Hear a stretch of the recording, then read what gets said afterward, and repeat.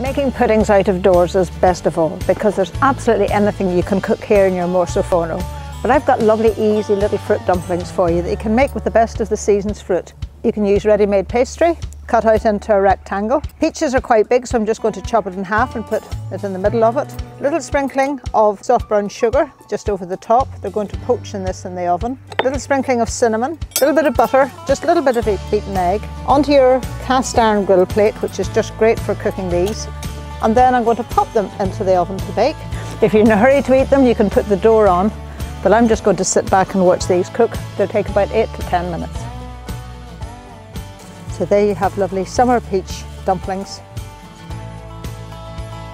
Some really nice, easy, relaxed recipes for you to enjoy with all your nice sort of summer cooking. So a few more sticks in the fire, time for me too to sit down, relax for the rest of the evening on the warmth of all of this and have a good summer.